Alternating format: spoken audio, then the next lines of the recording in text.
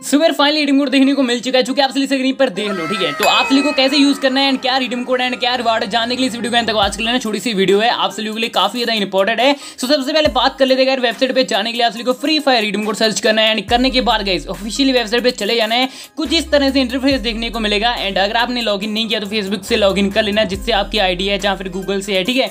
तो कर लेना लॉगिन लॉगिन करने के बाद आपको सिंपली रिडीम कोड को यूज़ करना है। कैसे करना है? आप सभी स्क्रीन पर देख पा रहे हो। एंड कुछ इस तरह से लिखना है। H A Y A T O A and guys उसी के साथ साथ वी ठीक है? वी के बाद U and seven six V ठीक है? कुछ इस तरह से आप सभी को रिडीम कोड को यूज़ कर लेना है। आपका सिंपली रिडीम कोड हो जाएगा। यूज़ एंड एंड गैर जब लास्ट का वर्ड यूज़ करोगे, जैसे कि वी ठीक है? वी के बाद आप सभी को एक और स्पेस देनी है। स्पेस दोगे तो आपको कंफर्म का बटन दिखेगा, ठीक है? नीचे देख सकते हो कंफर्म का बटन आया नहीं। जब मैंने स्पेस दिया तो कंफर्म का बटन आ चुका है तो मैंने क्लिक कर दिया एंड डायरेक्ट देख सकते हो कॉन्ग्रेचुलेशन लिखा आ चुका है। एंड मेरे को रिवार्ड देखने को मिल चुका है। एंड गाइड ट्वेंटी आवर्स के अंदर मेरे जो मेल बॉक्स के अंदर रिवार्ड आ जाएगा। अभी आप रहे हो कौन सा रिवार्ड देखने को मिलेगा? एंड हाँ रिडीम कोड कॉपी करने के लिए साथ में एक कॉपी ले लो, ठीक है? एंड कॉपी पे रिडीम कोड को यूज़ कर लेना। मतलब कि नोट कर लेना, फिर अपनी वेबसाइट पर जाकर यूज़ कर लेना, ठीक है? तो रिवार्ड कौन सा रिवार्ड है? आप सभी स्क्रीन पर देख सकते हो। तो ये वाला रिवार्ड है। एंड हाँ एक बात रिवार्ड को जानने से पहले रिवार्ड की फ़ोटो देखने से पहले